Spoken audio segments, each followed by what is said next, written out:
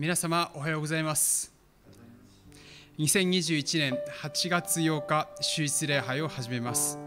しばらく静かな祈りの時を持ちましょう。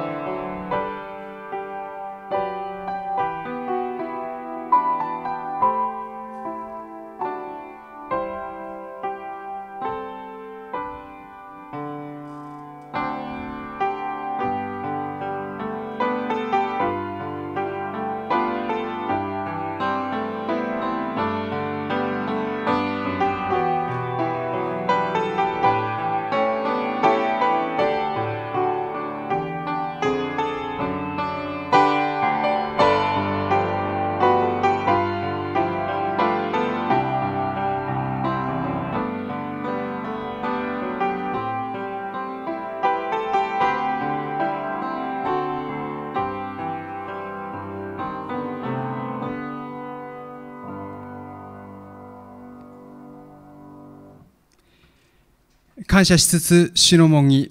賛美しつつその大庭に入れ。天の地なる神様今朝も私たちは主の皆を褒めたたえ礼拝を捧げます。ただ主の皆だけが崇められますように。私たちを愛し罪を許し永遠の命を与え新しい人生へと導いてくださった主イエス様あなたの十字架のご愛をありがとうございます。この新しく始まる一週間もあなたと共にその御心の内を歩むことができますように。この誠実、横山大輔さん、和子さんを迎えてきましたこの幸いをありがとうございます。お二人の賛美を通して、その語られるお証、メッセージを通して、これを聞くお一人一人にあなたの御手が述べられ、今日生きる勇気と力と救いとをお与えくださいますようにお願いします。聖霊様、あなたを認め、歓迎し、感謝し委ねます。どうぞあなたのご臨在でお包みください。私たちの愛する主イエス様のお名前でお祈りします。アメン。ご起立いただきまして、共に主の祈りをお捧げいたしましょう。主の祈り、天に増します我らの父よ、願わくは皆をあがめさせたまえ、御国をきたらせたまえ、御心の天になるごとく地にもなさせたまえ。我らの日曜の糧を今日も与えたまえ。我らに罪を犯す者を我らが許すごとく、我らの罪をも許したまえ。我らを試みに合わせず、悪より救い出したまえ。国と力と栄とは限りなく汝のものなればなり。アメン。どうぞご着席ください。本日のメッセージの聖書箇所を読みいたします。使徒行伝第16章25節から34節新約聖書209ページです。新約聖書209ページ使徒行伝16章25節から34節真夜中頃、パウロとシラスとは神に祈り、賛美を歌い続けたが、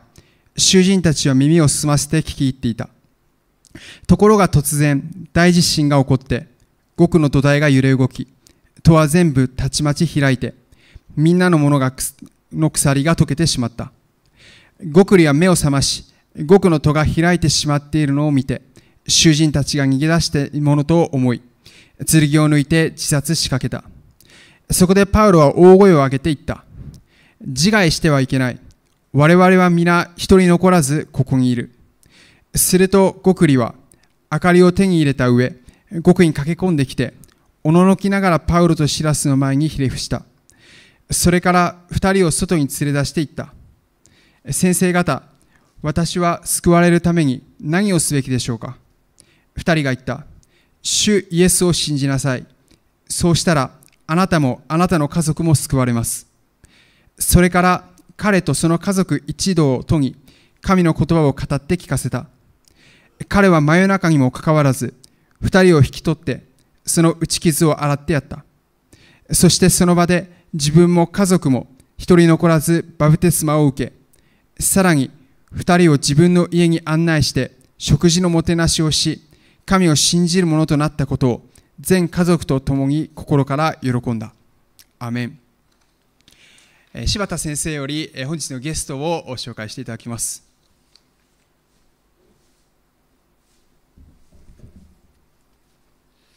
皆様おはようございます。もう今日はもう特別な日であります。えーもうこの最初の今日のお祈りから、えーそしてですねリハーサルを聞いてですね今日はもう特別に神様が素晴らしいことをされるという信仰がこう湧き上がってきてるんですね今。ですから皆さんもぜひ期待してください。求めよさらば与えられんと主が素晴らしい宮沢を今日起こしてくださるとそう信じてやみません。今日はあの台風でありまたあのこの緊急事態宣言で今日からですね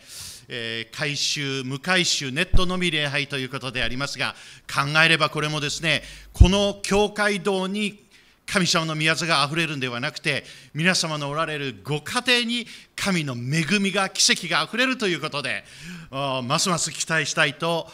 そう思いますですね。今日は、えー横山大輔さん、和子さん、えーこの礼拝を導いてくださいます。えー横浜では3度目、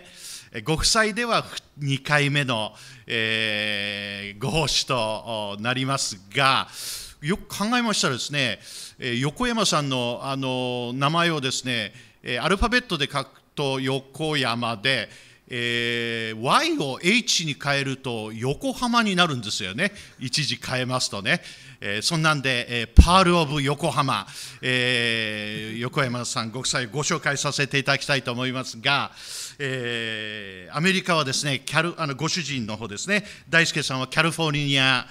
州フラトン大学の卒業ですね、えーそしてなんとデビューはですね、ハリウッド、Route of Soul、魂の道というグループでですね、えーデビューされ、えー2003年ですね、えー2003年に、アメリカのシアトルで信仰を持たれて、えーこの洗礼を受けられた、その受けられた教会がシアトルで受けられた先生は竹内先生って私も2003年までバンクーバーというところにいましたから何度か行きましたし、えー後ほどご紹介しますがこの本の中でですね、えー懐かしい写真なんかもあって、えーちょうど私が日本に帰ってきた年に洗礼を受けられたんだなと、えーそう思ったわけですね。この本を読んでみましたら中にですねフィリップなんていうのもね出てきてねなんか聞いたことあるなと思ったら聞いたらやっぱりうちの息子でしたね。えーそしてですね、えー帰国後は47都道府県これすごいことですよ。えー全都道府県ツアーをえーされて、その後はですね、アジア、ニュージーランド、オセアニア、インド、えーそして今回はアフリカと、もう世界中を駆け巡る宣教師として、え賛美と御言葉を届けてくださっております。3.11、えーこの東北の大震災ではですね、東日本大震災では、えーもう3年近くですかね、えー福島の方で、えーこの活動してくださり、えお使いくださいました。母教会はですね、なんと私たちの母教会である大和カルバリーチャペルのすぐ近くです。えーカンバーランド講座教会って、この教会も、えーこの巨大な教会なんですが、大和と同じように、えーここご出身でですね、なんか、まあ、近所みたいな感じがいたしますですね。えー奥様の和子姉妹はですね、岡山出身と、えー姉妹はですね、キャンパスクルセイド for Christ、え若い人たちですね、学生、えたちを伝道し、そしてですね、えセミナーなど、賛美の、えプレイズセミナーなどを、え重ねておられておられる、えお方ですね、前回来てくださった時には、ここで賛美セミナーもしてくださったですね。えこの一番最初はは、えー、っとコンサートで来てくださってセミナーで。そして今日はあの賛美礼拝ということで、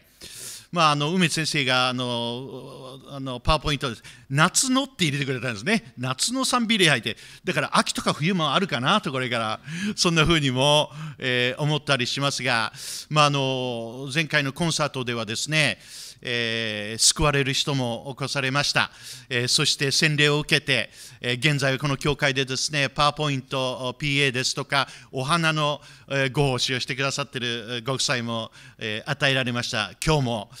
えー、皆さんのご家庭にですね主イエスを信じなさい。そうすればあなたもあなたの家族も救われますと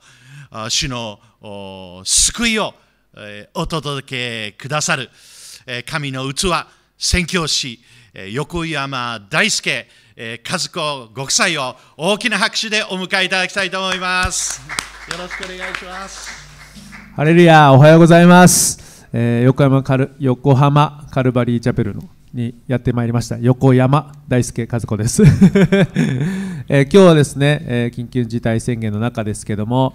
変わらないイエス様を復活のイエス様を共に賛美していきたいと思いますまた2人3人え、私の名によって集まるところに私もおると言ってくださる。イエス様はですね今日もこの場所に、えー、柴田先生梅津、牧師と他の奉仕者も345名いますのでイエス様も共におられます。ハレルヤ 主に感謝します。そして各ご家庭にもですねこのインターネットを通じて共に賛美礼拝主を褒めたたえることの素晴らしさと力をですね、え、味わいながら賛美していきたいと思います。どうぞよろしくお願いします。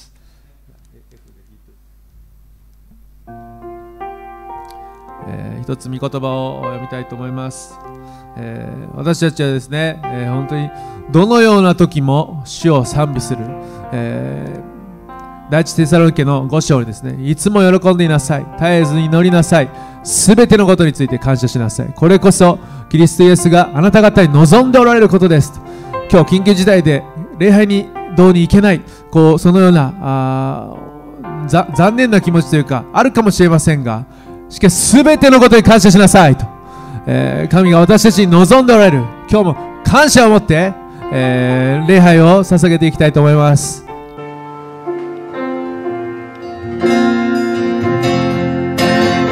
の恵みはここしえまで賛美していきましょう。神様の恵み今日も変わらないとこしえにあること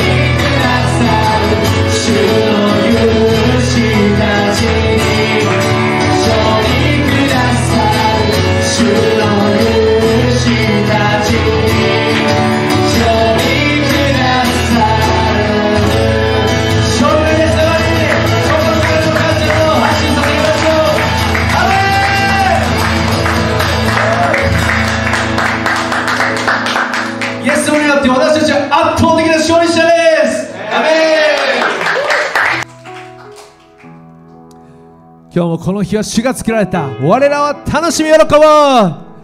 主の喜びが今日私たちに溢れていることを感謝します。命の源。そして私たちに必要な命のパンであるお方。このような状況にあっても私たちの心の栄養私たちすべて必要なものはイエス様です。今日もイエス様が必要なものです。今日もイエス様の皆を賛美していきましょう。アメン。誰でも乾くものを私のもとに来なさい。そうすれば私たちの心から命の川が溢れ流れる。各家庭にその職場に学校に命の水命が溢れ流れることを宣言します。イエス様感謝します。今日もあなたが私たちの王の主の主勝利者なる主。すべての栄光をあなたにお返ししながら命のパンを賛美していきます。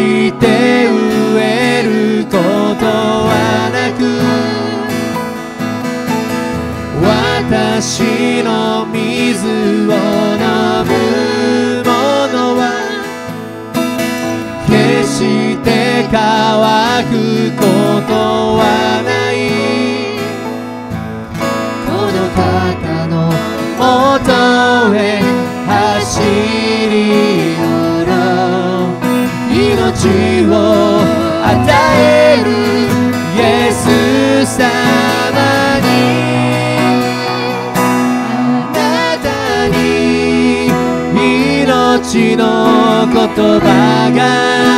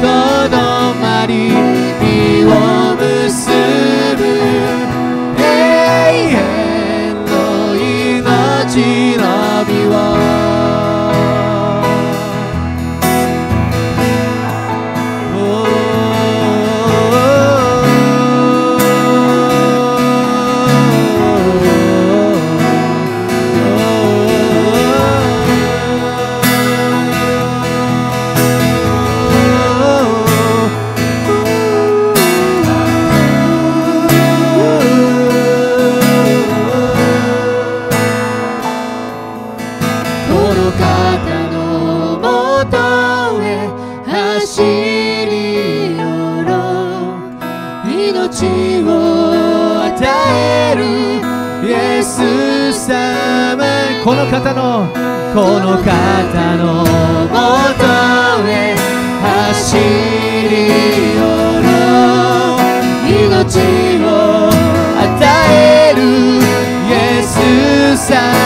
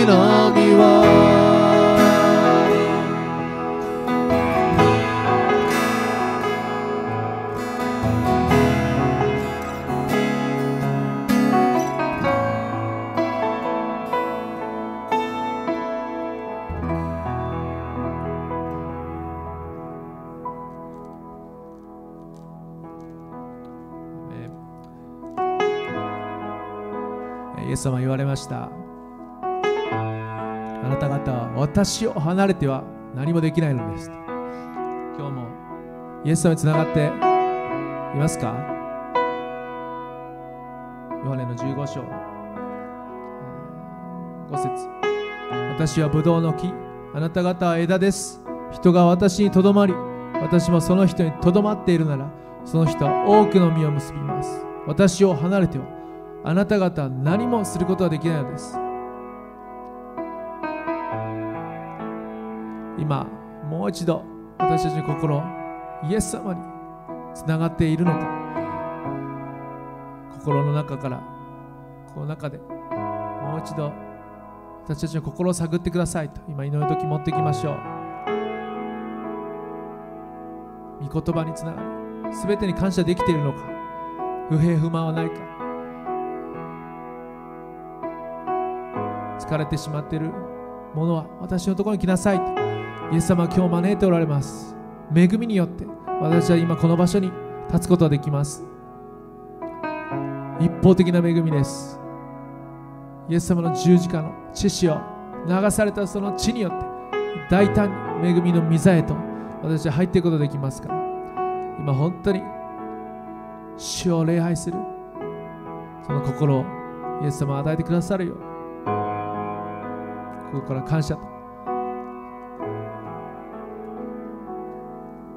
賛美捧げていきましょう。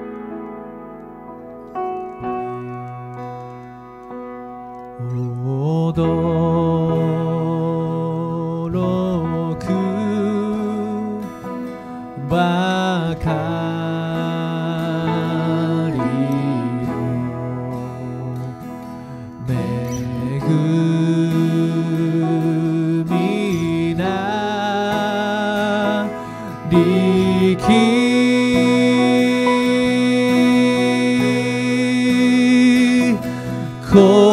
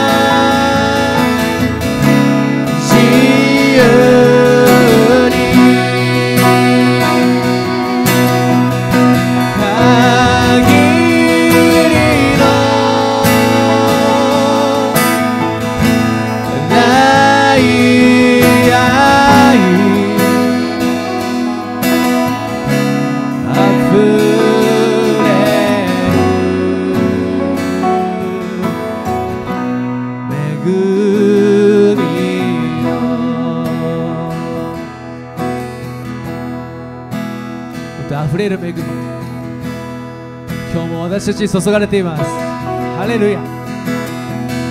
ハレルヤ。イエス様感謝します。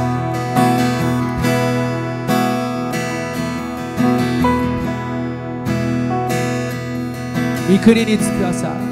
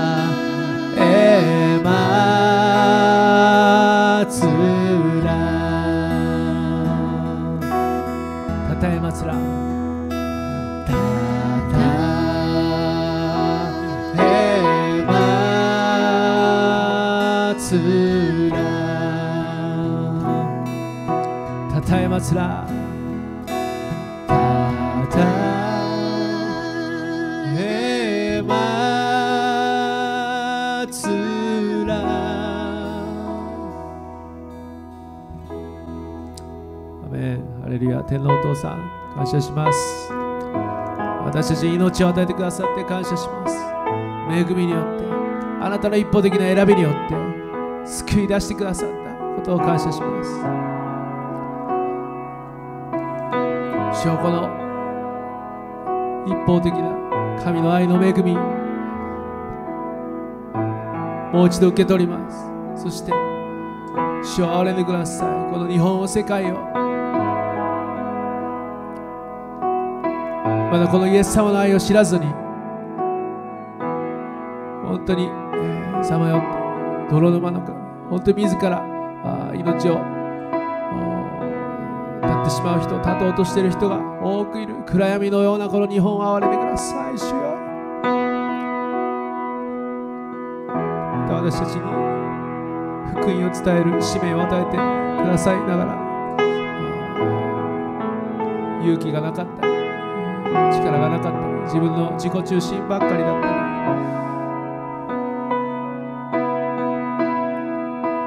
今日励ましてください。イエス様あなたがいれば私を強くしてくださる方によってどんなことでもできるのです。生きることはキリスト。死ぬことは益です。この与えられた命使命を最後御国に着く朝まで信仰のレースを走り続けることができるように私たち一人一人の信仰を強めてください。イエス様が弟子たちにあなた方の信仰がなくならないようにって祈ったとイエス様の祈りが今日も私たちに注がれていることを感謝します。強めてください。憐れんでください。この日本を憐れんでください。教会を憐れんでください。賛美することをやめない。賛美のうちに座れる主よ。あなたが先頭を行ってくださってこの日本の民を救いへと導いてくださるように油注いでください。賛美の心を与えてください。賛美の力をもっと私たち知ることができるように今日教えてください。すべてあなたの栄光です。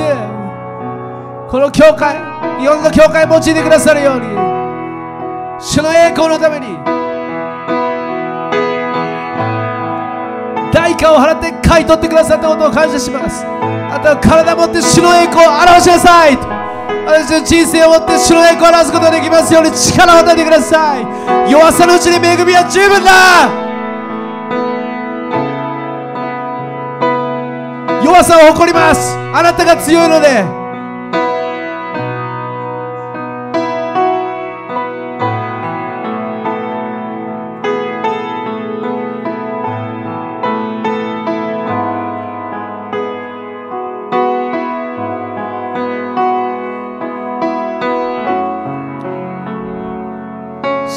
あなた方を自由にします。今日もあなたが私たちの心に自由と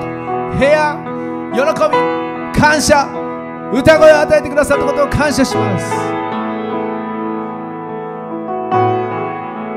この礼拝はあなたのものです。あなたにお捧げします。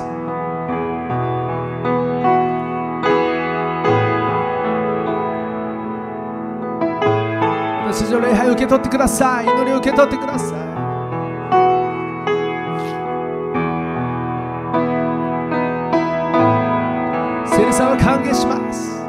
今日もあなたは心にお迎えします。主の栄光のためにこの命を捧げます。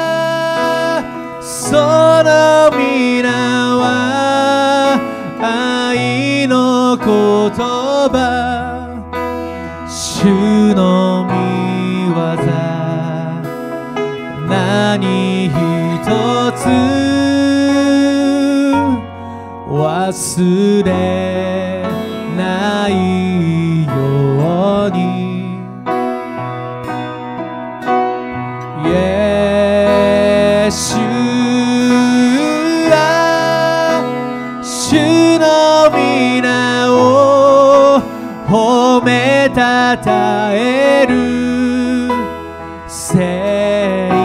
なる。その道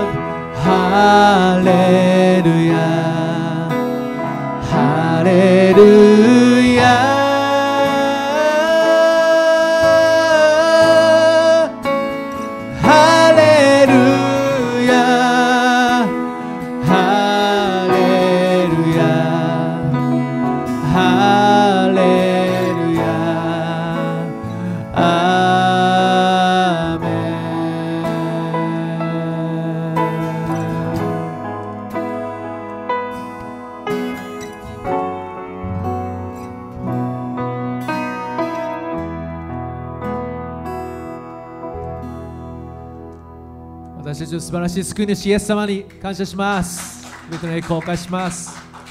アレルヤ。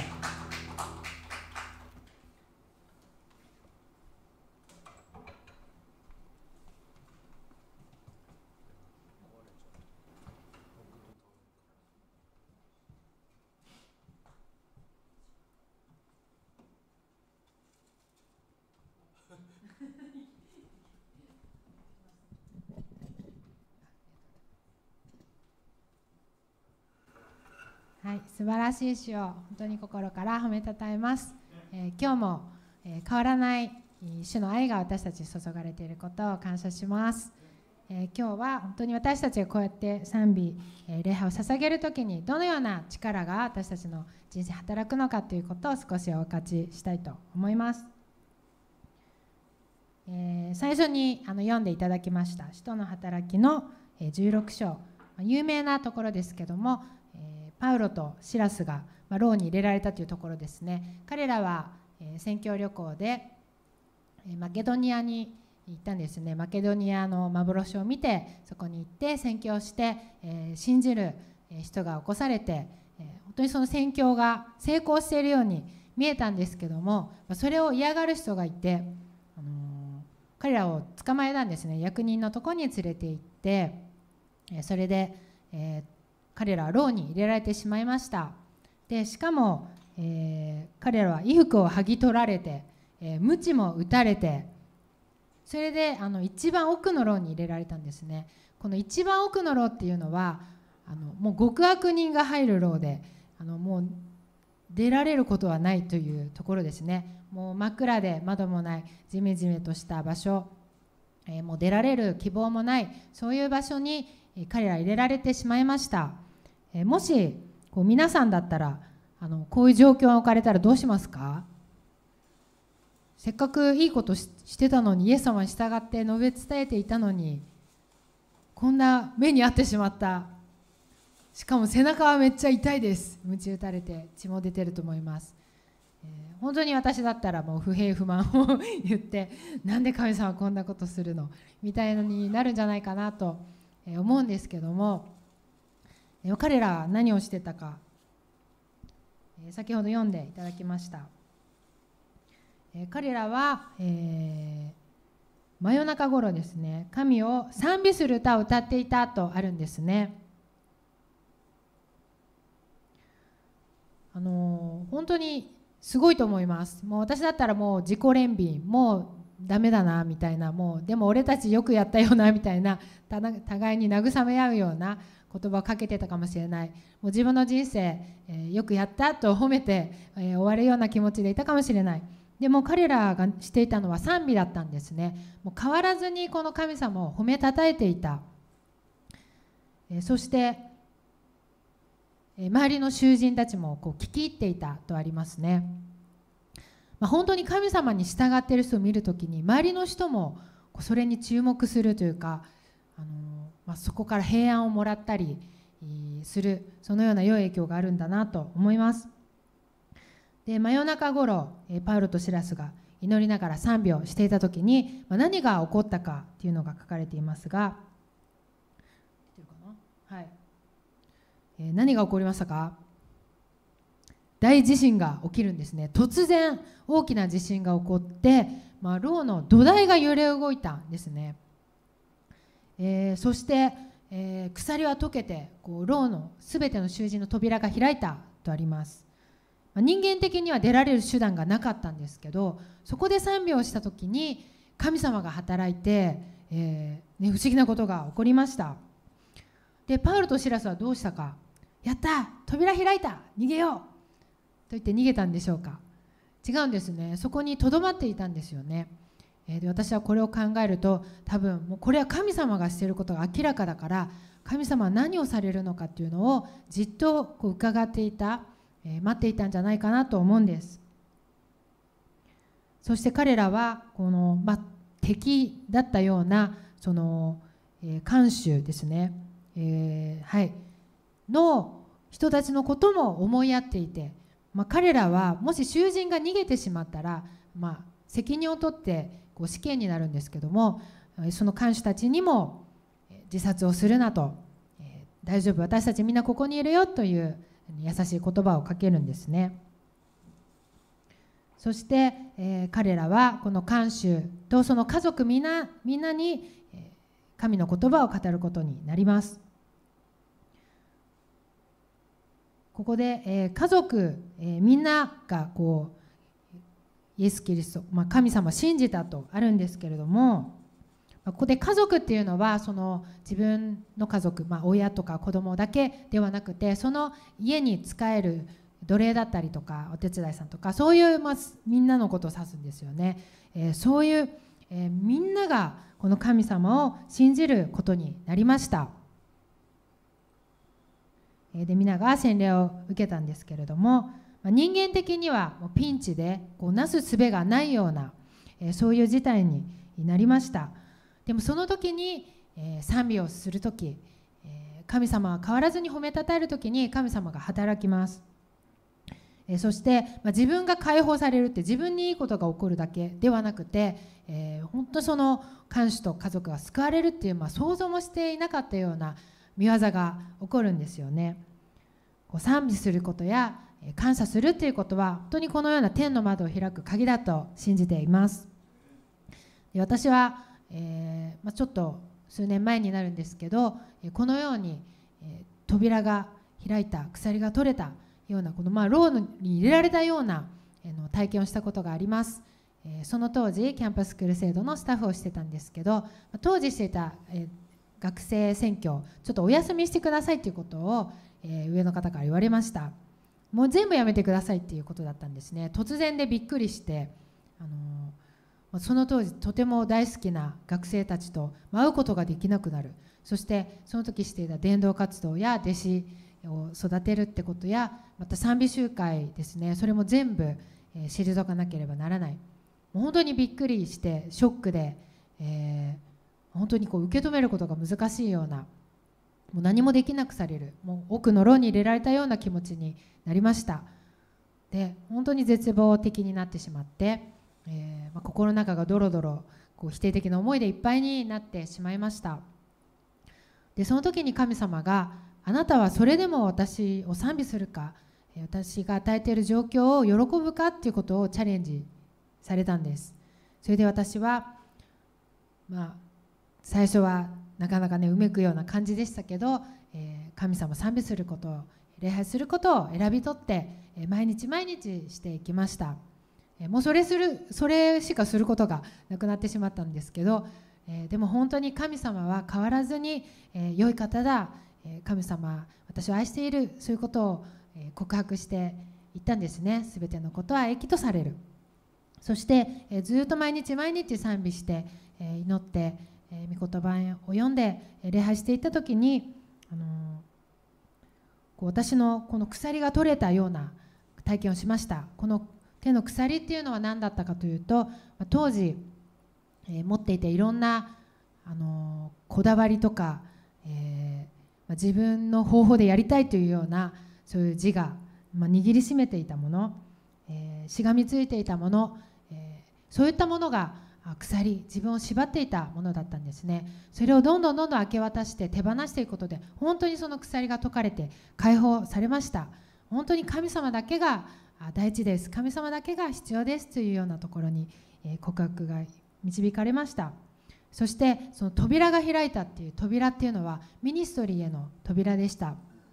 えー今まで、賛美の活動はしてたんですけども今までやったこともないところにこの賛美の働き開かれていって、ま自分から何もしなかったんですけど、友達がパーソナリティをしているラジオ番組に出てくださいと言われたりあとその友達のお父さんが働かれている介護施設で歌を教えに来てくださいと言われたりえあとその時通っていた教会の人がえウェディングチャペルをウェディングチャペルのあの牧師をしてたんですけどあのバレンタインの日にえー伝道おコンサートやりたいから歌ってくれませんか？って言ってきたり。今まで私がしたことがなかったようなところに扉がどんどん勝手に開かれていったんですね。しかもその年に12ヶ月の間にあの新しい賛美が10曲以上与えられてそれを CD にしてくれる友達も与えられたり。本当にもう自分はもうただなんかなされるなすがままなされるままみたいな感じで神様が開かれた扉にこうやって出ていくことができました、えー本当に賛美の力を体験しました。この試練によって、えー本当に神様が私を愛しておられて私を用いてくださる方なんだということをもう一度確信し、えーまた神様私を本当に益と、えしてくださる全てを益としてくださるまた御言葉で語られた約束を必ず成就される方だ、えそういうふうな確信が強められました。また毎日毎日賛美をして礼拝をしてえその中に働く私自身が作り変えられていくその賛美の力をえ体験しました、え本当に神様と一緒に歩むってことがどれだけ素晴らしいかっていうことを味わったんですね。神様にこう動かされているというか神様にこう導かれているということをすごくリアルに体験しました、えーローマ人の手紙、えー5章3節から8節を読みたいと思います。それだけではなく苦難さえも喜んでいます。それは苦難が忍耐を生み出し忍耐が練られた品性を生み出し練られた品性が希望を生み出すと私たちは知っているからです。この希望は失望に終わることがありません。なぜなら私たちに与えられた精霊によって神の愛が私たちの心に注がれているからです。実にキリストは私たちがまだ弱かった頃定められた時に不経験な者のために死んでくださいました。正しい人のためであっても死ぬ人はほとんどいません。善良な人のためなら進んで死ぬ人がいるかもしれません。しかし私たちがまだ罪人であった時キリストが私たちのために死なれたことによって神は私たちに対するご自分の愛を明らかにしておられます。アメン、えーキリストにこの方に信頼する者は決して失望させられることはない、えー本当にそうです。この希望がなくなることはありません。なぜならこの方は神様私たちを本当にケアしてくださる。私たちを心に留めてくださっている大切に思ってくださっている神様だからです、えーそして、えーこの神様の愛が私たちの心に注がれているからだと書いてありました。しかもこの神様の愛がいつ示されたのか。私たちが神様を喜ばせている時喜んで従っている時ではないんですね。私たちが神様なんて必要ないや神様なんてどうでもいいやと無視して生きている時反抗的に生きている時そのような、まあ、神様にとって私たちが最悪な状態の時に神の愛が示された。イエス様が十字架で、え死んでくださった。私たちのこの罪を反抗的な罪を、え自己中心の罪を背負って十字架で死んでくださった。そこに神様の愛が表されている、え本当に命がけで、私たちを愛してくれたんですね。この神様ないから私たちを引き離すことは何もありません。なので私たちはどんな状況に置かれてもこの神様の愛を信じて神様を賛美し褒めたたえることができます。今コロナ禍にあってまた今日から礼拝もオンラインのみになったと聞きましたけど、え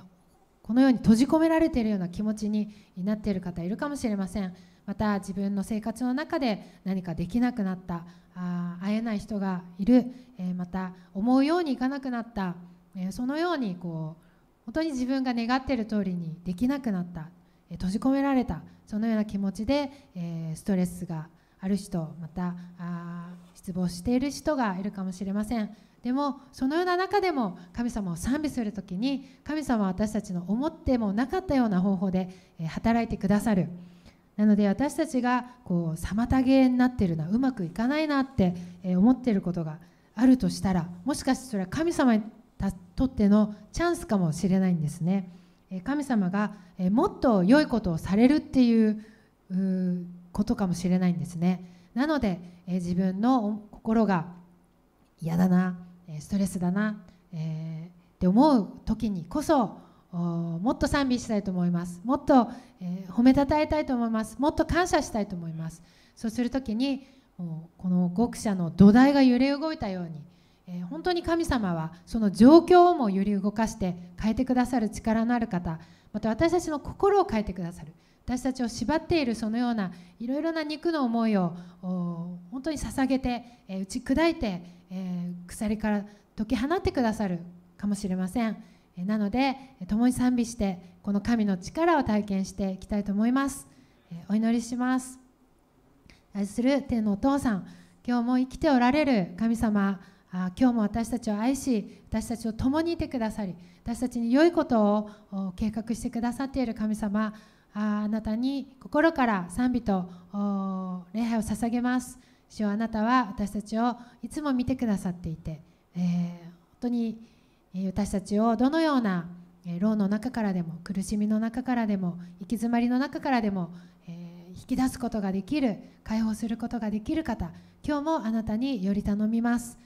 あなたをあなたの力がどれほど偉大であるかまた賛美した時どのような偉大な力が働くかを私たちがもっと体験していくことができますように神様素晴らしさをもっと味わっていくことができますようにそしてもっとこの口があなたを褒めたたえるものとされますように主よあなたはあ決して信頼するものを失望させることはない。この希望が失望に終わることはない。永遠に続くこの希望が私たちに与えられていることを感謝します。そして今も共にいてくださっている。神様の愛が離れることがないことを感謝します。なのであなたを褒めたたえあなたに心から感謝します。愛するイエス様救い主の皆によってお祈りいたしますアーメンえー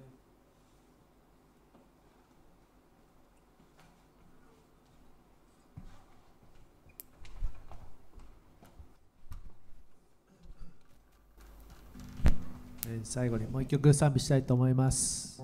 希望は失望に終わることがない。どんな状況にあってもですねそのイエス様の希望があるんですね。最近より思わされたのですねいつまでも残るもの信仰と希望と愛ですと書いてあります、えー希望ってなくなりそうになるんですけどもいつまでも残るとね書いてあるんですね。本当に不思議だし感謝だなと思います。イエス様の希望告白して賛美していきましょう。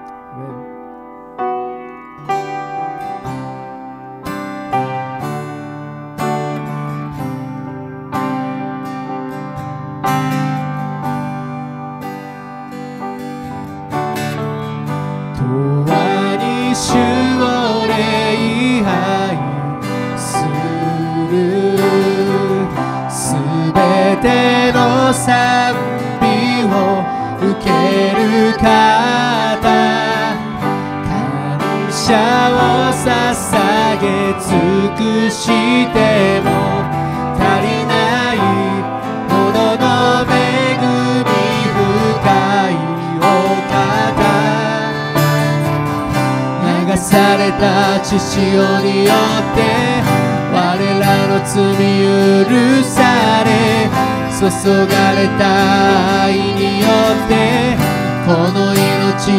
生かされ主にある希望によって全てを委ねて歩むこの道を。主イエスは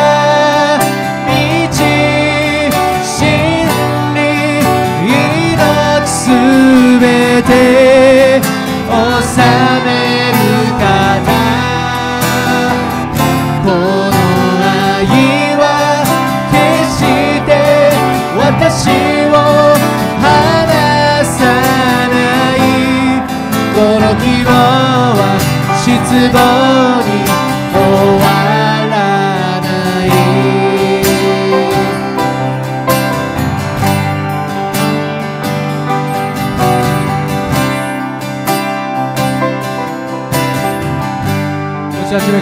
共に死を礼拝する。主を礼拝する。すべての賛美を受ける方。感謝を捧げ尽くしても足りないほどの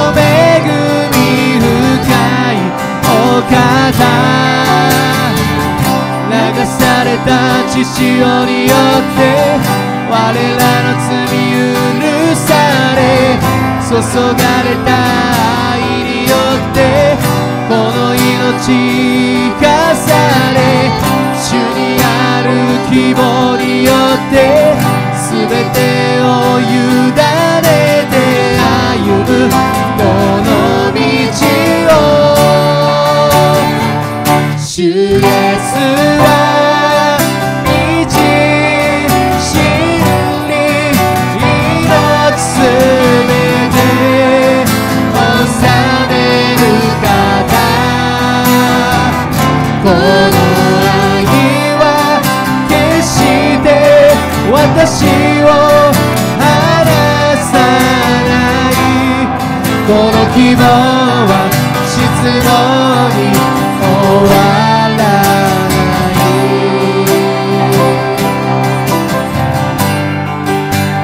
全な愛は完全な愛は恐れを締め出しすべてを守られるお方この道をひたすら前に進もう。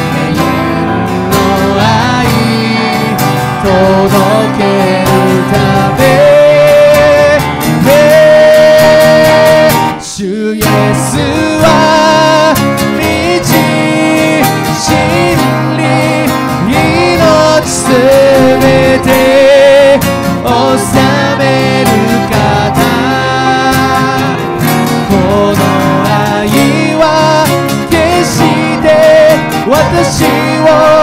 離さない。この希望は失望に終わらない。この希望は失望に終わらない。この希望は失望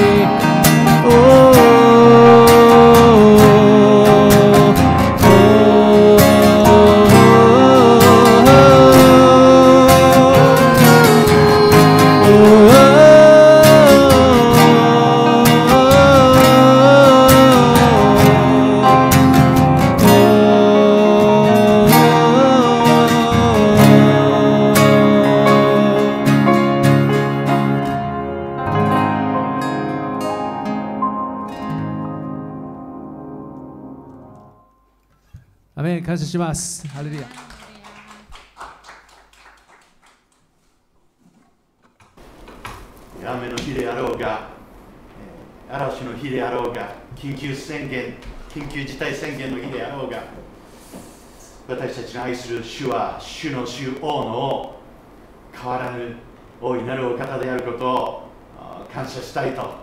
そう思いました。えーもう皆さんお気づきになられたと思いますが、えーこのメッセージ、えこの歌賛美はオフィスやスタジオで生まれたものではありません神との出会い雨の日や嵐の日がある人生のその道で生きたキリストに出会いまた人々と出会う中で与えられ生まれたものであります。それが賛美でありましょう。それが誠の礼拝でありましょう。そんな歌があなたにもあなたの人生にも必要であります。この素晴らしい本を読ませていただいたんですがこの中に大輔さんが行き詰まって悩み苦しんでいた時に神の声を聞いた。あなたは私のために歌いなさい。あなたは私のために歌いなさい。兄弟姉妹、これこそが私たちの人生ではありませんか私たちも主への歌であり、賛美であります。今日これから主の前に今共に短い時でありますが祈りたいと思います。私たちの私のこの命を捧げるにふさわしいお方、この方を私も賛美します。私の生涯をあなたへの歌、賛美とします。あなたは私のために歌いなさい。あの日、大輔さんに語られたその主の言葉を今日、私たちに語られた言葉として信仰の応答をしたいと、立ち上がりたいと、そう思います。しばらく皆で祈りの時を持とうではありませんか？祈りましょう。愛する天のお父様、今日も特別な、特別な礼拝を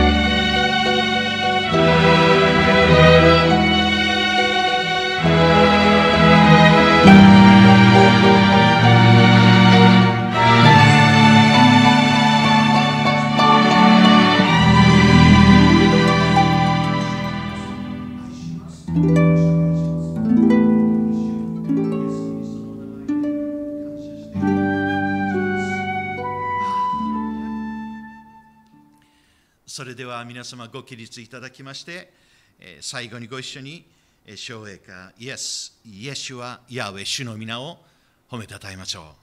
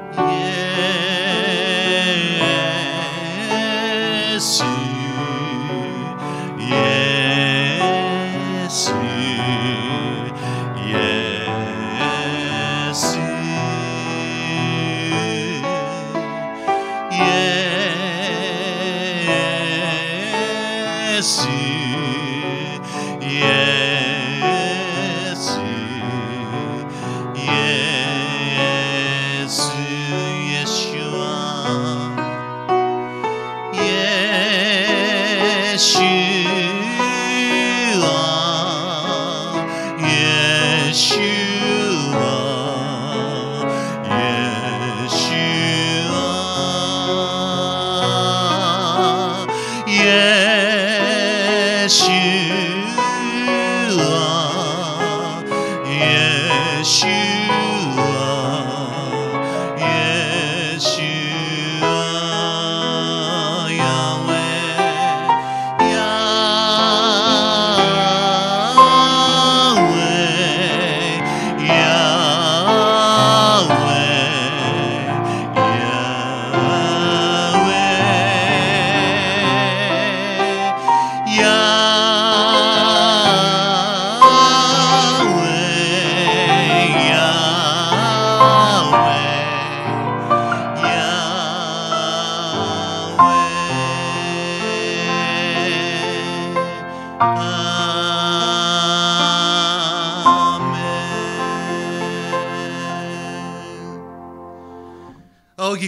ぎ恋願くは、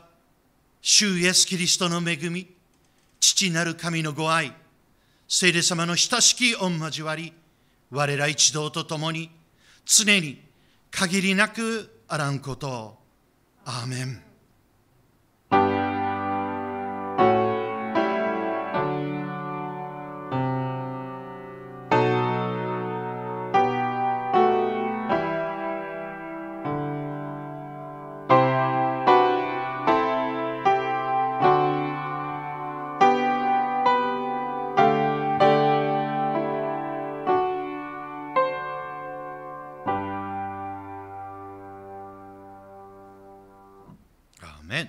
ぞご着席ください、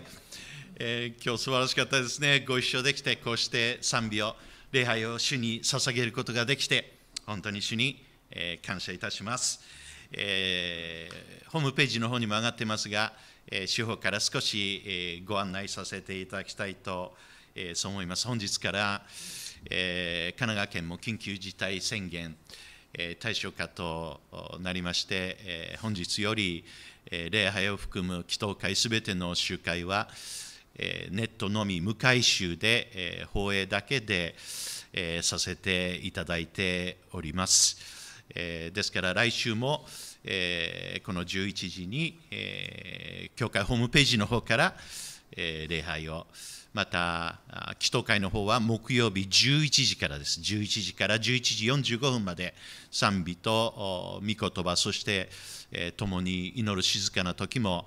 えー用意しておりますので、えーそれぞれのご家庭に神の祝福がこのような時にこそ溢れるようにと共に祈ってまいりたいと、えーそのように思います。また互いが、えー守られるように互いのために祈る時と、させていただきたいと、そのように思います。えーそんなわけでですね、今日のメッセージもネット、あるいは CD、DVD、メディアで、えー皆様が参加できますようにと、この後ですね、郵送もいたします。CD、DVD が欲しいと願われる方、遠慮なく、教会の方にご連絡くだされば、送料無料で、郵送させていただいております。またですね、この先週の木曜日ですが、タウンニュース、横浜のタウンニュースの方に、えーまたですね、えー心の、じゃない、何でしたっけね、心のエステ、えーエッセイを書かせていただいたので、今回はですね、五輪について書いてるんですね。えー皆様にと思って、えー百数十部お届け、今回もしてくださったんですけど、えーしばらくお会いできませんので、えーこれもご希望の方、何枚でも伝道のためにも用いられますので、えーご連絡くだされば送料無料でお送りさせていただきたいと思います。献金の方も、えーネットの方に振込先、ネットの振込先ございますので、そちらの方ご利用くださるか、また皆さんとお会いできたときに、えーお持ちくださればと、お捧げくださればと、えーそのように、えー思います。えーそうですね、牧師面談も緊急事態宣言ですので、えー電話面談とさせていただきますので、ご理解いただければと、そのように思います。えー最後にですね、えーリクエストもう一度このアンコールをさせていただきたいと皆さんの気持ちでありましょう、えーご準備していただく間にですね、えー少し何度もご紹介しておりますがゴスペルライオンアドベンチャーという皆さんね今日歌ってくださったたくさんの曲があるんですがそれ一つ一つやっぱり歌はストーリーなんですね人生なんですね出会いなんですねそれが一つ一つここに、えー あの書かれておりますし 出てきますね。ぜひですね、皆さん、これあの、えーホームページ、えー教会ではなくてですね、横山さんご夫妻のホームページの方から、えーこれをですね、申し込むことができます。えーそしてですね、これはいくらではなくてですね、自由にどうぞということで、えー献金を捧げていただければと、そのように思いますし、また皆様がまた教会に来られた時には、皆さんのお手元にも入るように、えー今日ですね、持ってきてくださったので、ここでも用意させていただきたいと思います。また CD もですね、たくさんあります。全部で15ぐらいあるんですかね、CD も。それがありますが、えーこのたくさんあります。最近のこうアフリカの、もう何度かこの礼拝の特別賛美でも使わせていただきましたが、あれ素敵ですよね。うん、もうぜひ皆さんに聞いていただきたい。皆さんこの本読んでください。もう感動しますので。えーそしてですね、えーこれで夏の賛美礼拝は終わりますけど、今度はまた、はい、秋でも冬でも来ていただいてですね、ここでもう百数十名のね、方々と共に主を褒めたたえたいと、えーそう思いますね。それでは最後にアンコールでもう一曲賛美を捧げていただきます。お願いします。アメン、えー本当に共に今日も賛美礼拝を捧げることができたことを本当に感謝します、えーこれからも私たちの礼拝の日々は続いていきますけども、えー生きるという賛美の曲を最後歌いたいと思います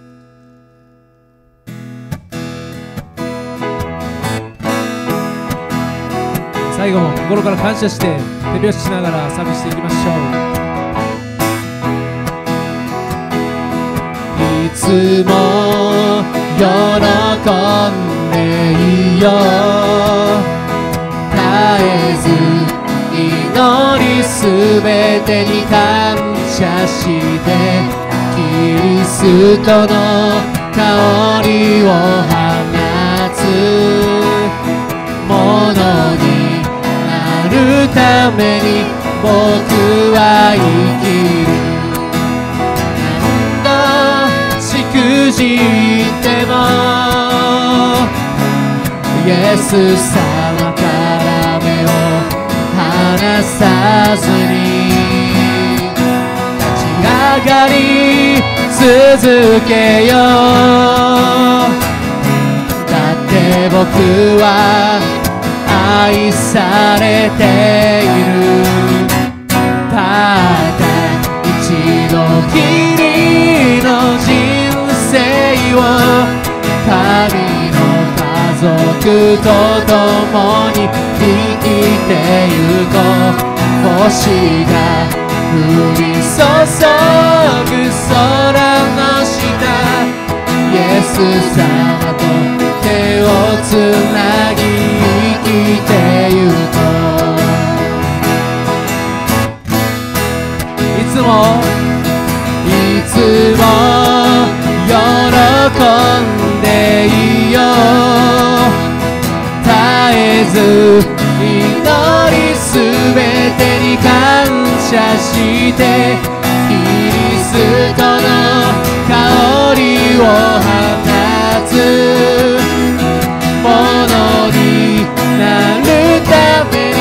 僕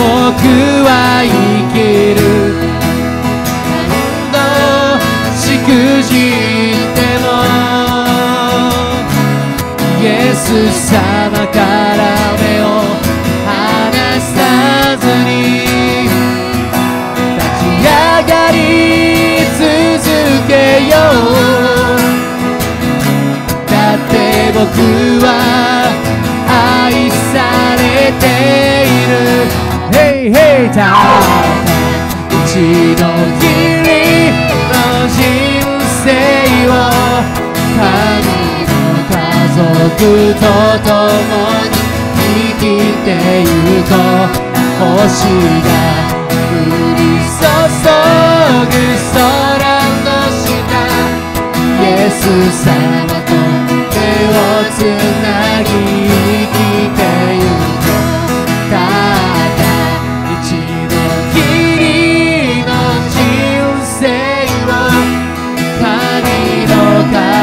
と共に生きてゆこう星が降り注ぐ空の下イエス様と手をつなぎ生きて